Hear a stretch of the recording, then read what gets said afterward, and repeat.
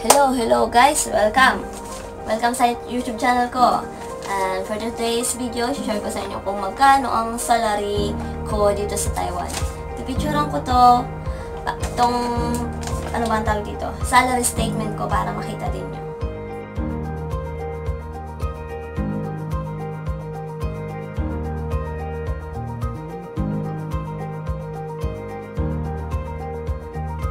So guys, pag pagpunta ko dito sa Taiwan, year 2015, month of April, and the date 29th, ang aking sahod, basic salary ay 17,000 NT dollars.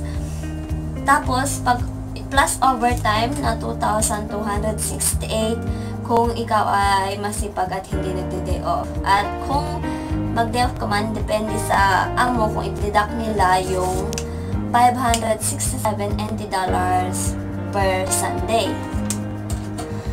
And then, yung aking insurance deduction, ang, uh, bali, ang total pala nun ay 9,268. Tapos, yung insurance deduction ko na 282.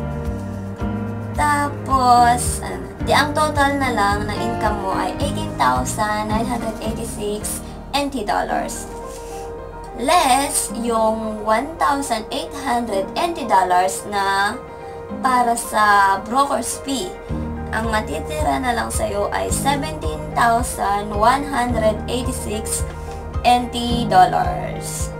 Ayan. Mm. Ang ano pala, ang, ang broker's deduction, 1.8 in your first year in Taiwan. 1.7 ang deduction pag in your second year here in Taiwan. In your third year, ano, 1.5 na lang. Ayan. Tapos yung medical ko nga pala, yung ARC medical, ay medical, 2,000.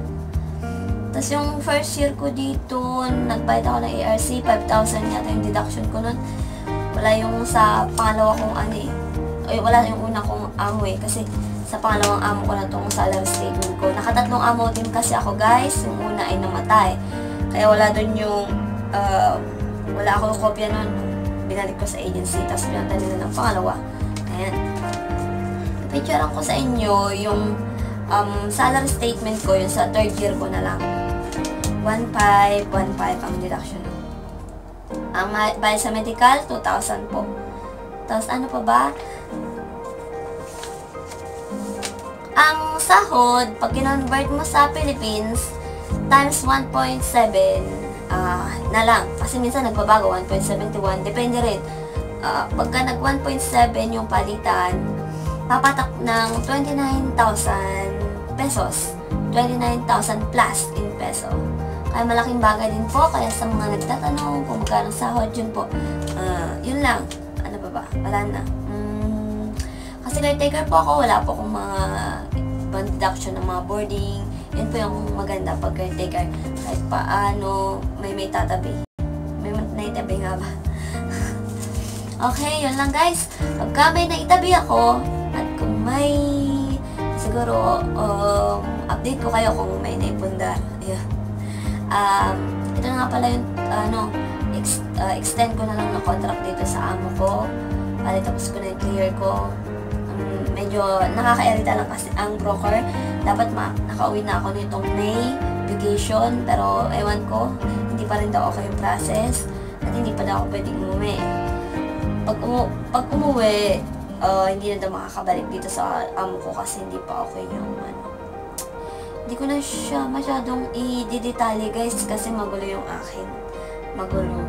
yung broker ko magulo. Pero hopefully, pag nakawin naman po ako ng Pinas, siguradong i-upload ko din sa YouTube. Kasi, umaga, ito lang po yung libangan ko.